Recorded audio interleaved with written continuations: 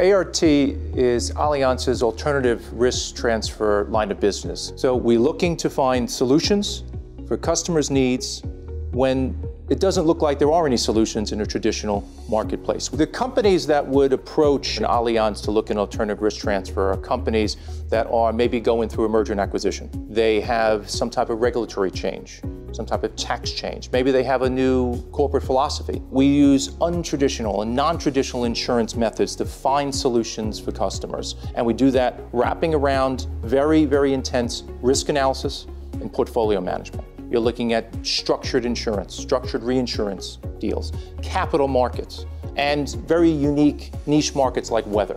And what we're basically doing is aligning all of what Allianz has to offer and focusing it on the single needs of a particular customer. And this is very, very powerful. And that to me is ART made simple.